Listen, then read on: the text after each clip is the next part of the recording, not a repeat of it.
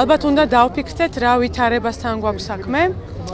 დოკუმენტი, რომელიც უნდა უძლებდეს საუკუნეებს, ვერ უძლებს საათებს და მიღებიდან რამდენიმე საათში ჩვენ გთხოვენ, რომ შევცვალოთ ის ცვლილებები, რომელიც პარლამენტმა მიიღო.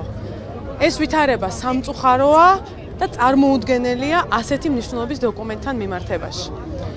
თუმცა ჩვენ როგორც პასუხისგებლობის მქონე ინსტიტუტი ბუნებრივია გავაგრძელებთ და დავიწყებთ კონსულტაციებს მათ შორის ქართულ ოცნებასთანაც სხვადასხვა პოლიტიკურ ძალებთან იმიტომ რომ პასუხისგებლობით ვეკიდებით ამ ჩიხური ვითარებიდან გამოსვლის ამოცანას. ვეტო იქნება ქალბატონო. ბუნებრივია ამაზე ვერაფერს ვერ გეტყვით, ჩვენ გვაქვს კონსტიტუციით დადგენილი 10 სამუშაო დღე და შესაბამისად ვიმოქმედებთ. ამ ეტაპზე ჩვენ ვუყურებთ რომ საქმე გვაქვს საკმაოდ არასერიოზულ და წარმოუდგენელ ვითარებასთან და ეს ვითარება არის რომ მრავალ საუკუნოვანი დოკუმენტი მხოლოდ რამდენიმე საათში მიღებიდან იცვლება.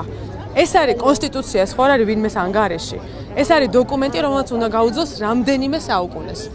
ამიტომ ჯერ ამ ვითარებასთან გვაქვს შეხება, თუმცა ბუნებრივია ჩვენ გვაქვს პასუხისგებლობა, რომ ამ ჩიხური ვითარებიდან ერთად გამოვიდეთ და დავიწყებთ შესაბამის ქმედებებს.